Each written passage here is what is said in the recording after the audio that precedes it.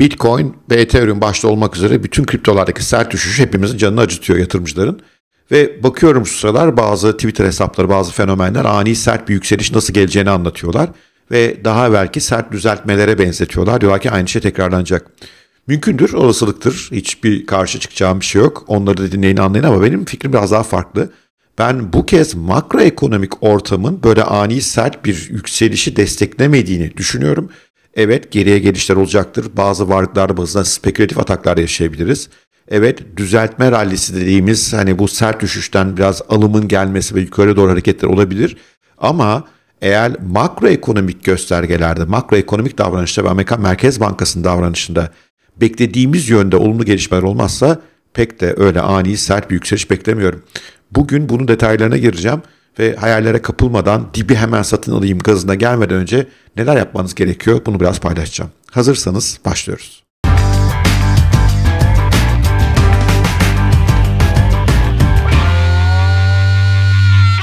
Kripto paraların geleceğinin makroekonomik gelişmelerden tamamen bağımsız olacağını savunmak bence biraz çocukça. Çünkü temeli kaçırıyoruz burada. İlk Bitcoin ortaya çıkışta zaten makroekonomik sisteme tepkiydi. 2008'de finansal kriz yaşanıyor, borsalar çok sert düşüyorlar, merkez bankaları para basmaya başlıyor. Bu döngüye sinirlenen Satoshi Nakamoto da ben Bitcoin'de bir şey yaptım diyor. Tabii 40 yıllık bir geçmişi var ondan öncesinde kripto para gelişiminin ama kısaca özetlemeye çalışıyorum.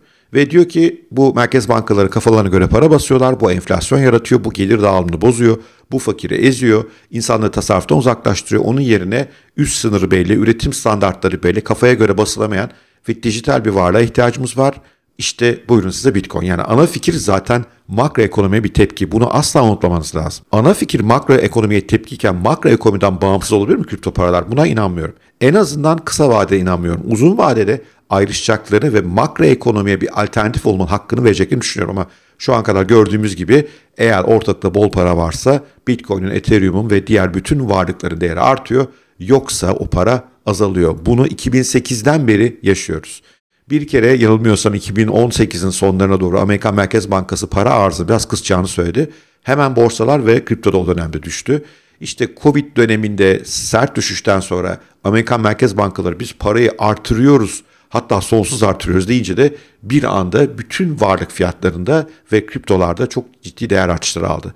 Yanılmıyorsam Mart'ta Covid patladığında kriptonun fiyatı 3700-3800 dolarlara düştü.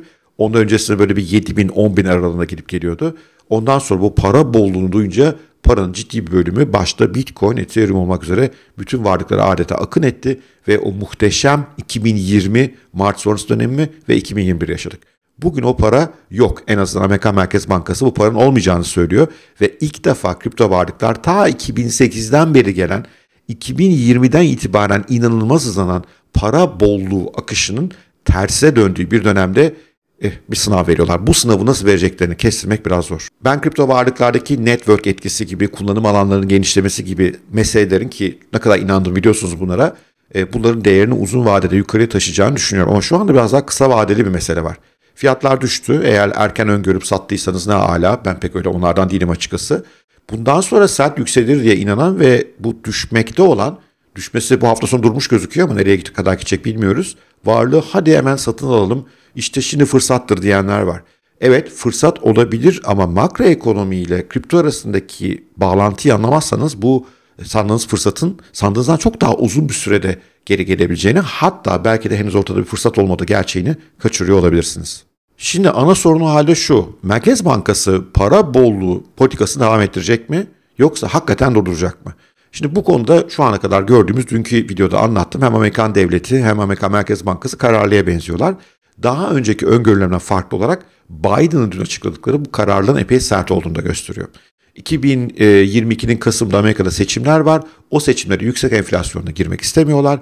Çünkü yüksek enflasyon insanların tüketim gücünü yiyor. Bu hemen pazara yansıyor. Türkiye'de yaşıyoruz bunu şu anda ve bu da hemen oy oranlarına yansıyor. Biden'ın zaten popülariteliği bayağı düşük bir hali düşük ve bir de başına böyle bir enflasyon derdiyle girmek istemiyor olabilir. O yüzden Merkez Bankası'nı destekliyorum diyor. Bu durumda bir kere temel varsayım olarak Merkez Bankası bu baskıya devam edecektir diyebiliriz. Bu baskı devam ettiği sürece para azalacak. Mart'ta, Temmuz'da, Eylül'de, Ekim'de bir yerlerde faiz artışları yapacaklar ve bu faiz artışlarının piyasada yarattığı etkiye bakacaklar. Bu hangi koşullarda gerçekleşmeyebilir veya nerede durup Merkez Bankası tekrar para bollaştırmaya geçebilir? Esas sorun buna dönüyor. Çünkü para kıt olduğu sürece bir mucize gerçekleşmediği sürece o mucizelerden biraz sonra bahsedeceğim olası mucizelerden kripto varlıklarda ani sert bir yükseliş beklemiyorum. Çünkü önce para bolluğu lazım. Para bol değilse bu iş olmaz. Peki Merkez Bankası sert faiz yükseltme, parayı azaltma politikalarından hangi koşullarda vazgeçer? Bence 3 temel koşul var bunda. Bunlardan ilki enflasyonun kendi kendine düşmeye başlamış olması ki bu benim beklentilerimden bir tanesi. Mart ayına kadar değil ama daha sonraki dönemde. Niye? Çünkü enflasyon ciddi bir bölümü tedarik zincirindeki kısıntılardan, Covid'in yarattığı bozulmalardan kaynaklanıyordu. Orada bir düzelme bekliyoruz. Bir de şu anda daha Merkez Bankası bir şey yapmadan Amerika'da ciddi bir ekonomik dönüşüm başladığı için Amerika'da insanlar hisse senedi fiyatlarına çok çok önem verirler. Hisse senedi fiyatı yüksekse alışverişi daha kolaydır insanların. Çünkü onu teminat gösterip kredi alırlar, moralleri iyi olur vesaire. E daha şu andan orada kıpırdama başladı, düşme başladı. Bu pazardaki alışverişi azaltabilir ve bu enflasyonu düşürebilir. Böyle bir durumda yıllık enflasyonun %2'ye 3'e doğru gittiğini ki Amerika Merkez Bankası %2 enflasyon hep ister. Oraya doğru gittiğini görecek olursa Merkez Bankası kararı verebilir ve durdurabilir. Ama onu Mart ayına kadar beklemiyorum. Mart'tan sonraki dönemde yani Mart-Temmuz arasında bir yerde o istatistikleri görebiliriz. Ona dair işaretler daha erken gelirse harika. Aksi takdirde Merkez Bankası durmayacak. Amerika Merkez Bankası'nın kararından dönmesi tetikleyecek ikinci bir neden ani sert bir borsa düşüşü olabilir. Amerikan borsalarında düşüş var ama ani sert değil. Hatırlayın Mart'ta zaman zaman devre kesecek kadar günlük %10'lara yakın düşüşler vardı. Bu sefer öyle bir şey yok. Yavaş yavaş iniyor sinir bozucu şekilde. Bu çok korkutmaz Merkez Bankası çünkü piyasada bir panik olmadığını gösterir. Ama ani sert düşüş panik yaratır. Niye panik yaratıyor? Çünkü Amerika'da hisse senedi borsasıyla borç piyasaları birbirine çok bağlantıdır. Pek çok insan ve şirket hisse senetlerini teminat gösterip portföylerinde veya bir şirketse kendi ait hisse senetlerini gidip kredi kullanır. Bu krediyle alışveriş yapar. Bu kredilerde ani bir daralma söz konusu olunca Merkez Bankası devreye girer. Çünkü kredilerde ani bir sert daralma yani teminatların erimesi çözülmesi borsadaki sert bir düşüş sonucunda ve bunun kredilere yansıması Merkez Bankası'nı korkutur. Çünkü eğer borç durursa Amerika'da her şey durur. Amerikan piyasası müthiş borca dayalı piyasadır. Müthiş kaldıraçlı işlemle dayalı piyasadır. Oradan korkarlar. O yüzden borsalarda ani sert bir düşüş Merkez Bankası'na kararını gözden geçirtip biz gevşetiyoruz tekrar dedirtebilir. 2019'da bu olmuştu. Olup olmayacağını göreceğiz. Ben ani sert bir düşüş olma olasılığını görüyorum. Bunda birkaç tetikleyicisi olabilir. Bir tanesi yatırımcıların paniklemesi. Bu mümkün. Yatırımcılar panikleyince bundan olabiliyor. İkincisi de yatırımcı paniklemesi tetikleyecek ani bir finansal piyasa gelişmesi. Amerikan piyasaları, finansal piyasaları bir yandan çok gelişmiş piyasalar, bir yandan da çok kompleks piyasalar. Nereden neyin çökeceği belli olmaz. Bir zamanlar mortgage kredileri çöktü. Piyasa birbirine girdi. O kompleksiteyi ben de çözemiyorum. Orada bir şeyler olabilir. Bir de işte malum Ukrayna, Rusya, Çin, Tayvan mücadelesi gibi yerlerdeki ani tetikleyiciler olabilir. Onları daha düşük olasılık görüyorum ama bu mümkün. Bunlar olursa borsa aniden çöker o zaman Merkez Bankası para basar. Ama bu olasılığın ne kadar yüksek olup olmayacağının yorumunu size bırakıyorum.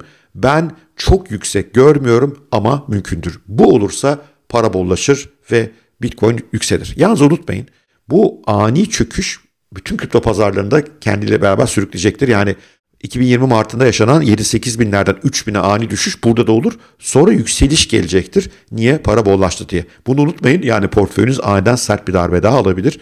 E, borsaların çökmesinden henüz bağımsız değiliz. Amerikan Merkez Bankası'nın tekrar parayı gevşetmeye itecek üçüncü bir faktör de seçimlerin yaklaşıyor olması. Kasım'da seçimler var. Şimdi şöyle varsayalım ve bir şekilde bu politikalar işe yaradı. Bir de bahsettiğim doğal şekillerde zaten enflasyon düşüyor ve Temmuz'dan itibaren Amerika'da artık enflasyon ana konu değil. Eh seçimler yaklaşıyor. Seçime girerken ne ister Biden? Hem enflasyon düşürük hem borsalar yükseldi. Borsalar nasıl yükselir? Orada biraz parayı yine gevşeterek. O yüzden enflasyonun düştüğü, bunun ana gündem olmaktan çıktığı seçimlere yaklaştığımız dönemde de böyle bir şey bekleyebiliriz.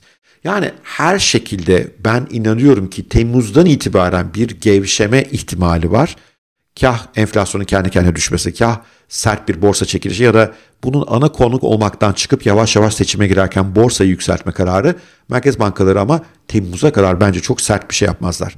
Ben Mart-Temmuz arasında biraz toparlanmalar bekliyorum bu çerçevede ama onun öncesinde bazı mucizevi faktörler dışında kripto pazarında çok sert bir yükseliş öngörmüyorum. Nedir bu mucizevi faktörler? Şimdi biraz ona bakalım. Amerikan Merkez Bankası ve makroekonomiden bağımsız olarak kripto varlıkların değerini sıçratacak 3 tane bence temel mesele var. Bunlardan ilki spot ETF. Eğer Amerika'da Bitcoin'e veya diğer bir kripto varlığa dayalı spot ETF kabul edilirse işler değişir. Bununla ilgili daha evvel bir videoda bahsetmiştim. Çünkü spot ETF'in kabul edilmesi demek bunun aynı zamanda regülatif sıkıntılarına bitmiş olması anlamına gelir. Ve Amerika'daki pek çok fon kriptoyu ciddi bir yatırım aracı olarak düşmeye başlar. Örneğin emeklilik fonları gibi. Bu spot ETF'i neler değiştireceğini o videoda daha evvel anlatmıştım. Açıklamasını aşağı, linkini aşağı açıklamalara ve yukarıya bırakıyorum. İstiyorsanız inceleyin. Bu olasılık arttı mı azaldı mı bu makroekonomik ortamdaki değişimle beraber henüz bunu yorumlayacak durumda değilim açıkçası. Ama ben biraz azaldığını düşünüyorum. Çünkü ortalık bu kadar karışıkken bir de spot ETF'i devreye sokayım demeyebilir Amerikan SPK'sı. Biraz daha gelişmenin sakinleşmesini bekleyebilir. Bir de kripto fiyatlar çok sert düştü biliyorsunuz.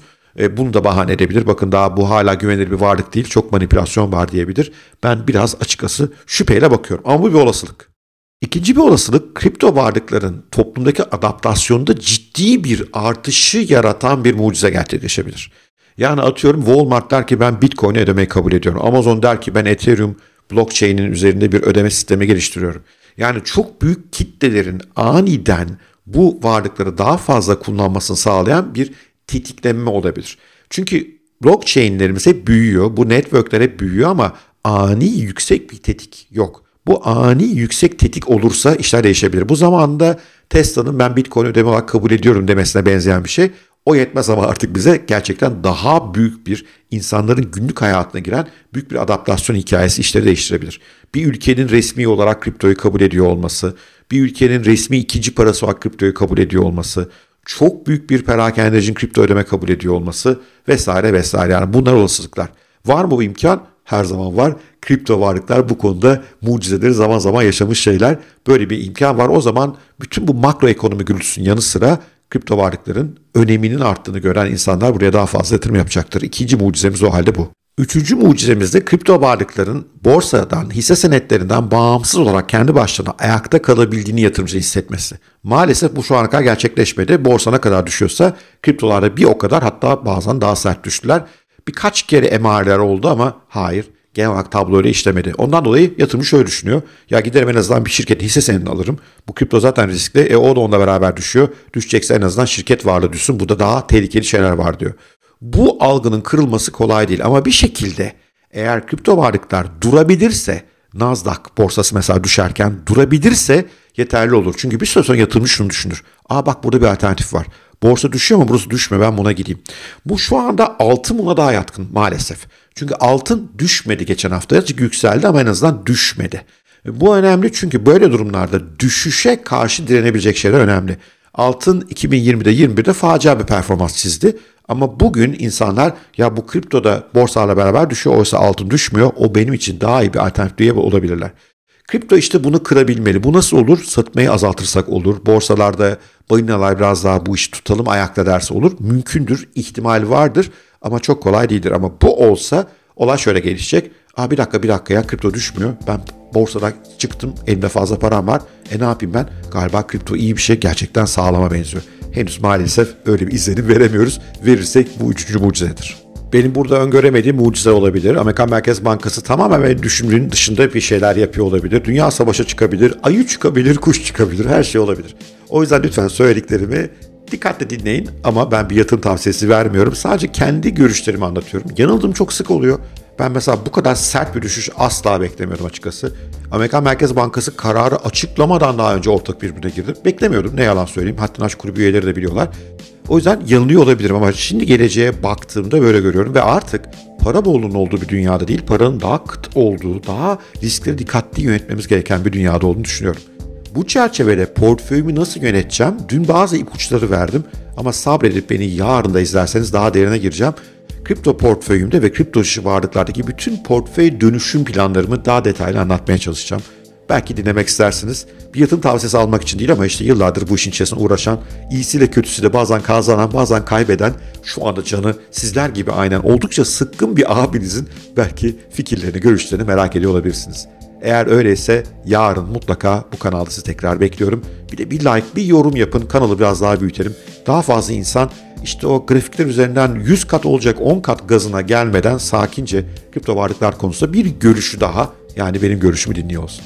Sevgiyle kalın, hoşça kalın, görüşmek üzere.